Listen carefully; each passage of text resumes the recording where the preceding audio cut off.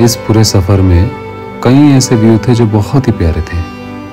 कई ऐसे रास्ते थे जो बहुत ही एडवेंचरस थे। पर इस पैच ने जितना अमेज किया मेरे को, उतना पूरे सफ़र में किसी ने नहीं किया। यह है संस्कार से सुरू वैली का रास्ता।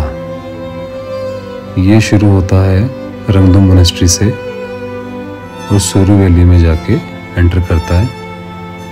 इसका वाइब मेरे पास एग्जैक्ट वर्ड नहीं है बट